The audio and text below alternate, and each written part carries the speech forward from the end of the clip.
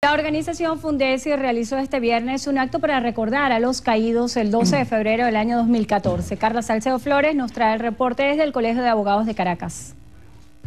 Así es, buenas tardes. Gracias por este contacto que hacemos desde el Colegio de Abogados de Caracas. Y es que el día de hoy se ha llevado a cabo acá un acto para conmemorar a las víctimas del 12 de febrero del año 2014. En este sentido, podemos comentarles que la organización Fundesi ha promovido la entrega de una condecoración a los familiares de las víctimas de esta fecha y también a los familiares de los llamados presos políticos. este reconocimiento lleva por nombre Basilda Costa. Recordemos que fue uno de los estudiantes fallecidos en el centro de Caracas durante esa fecha.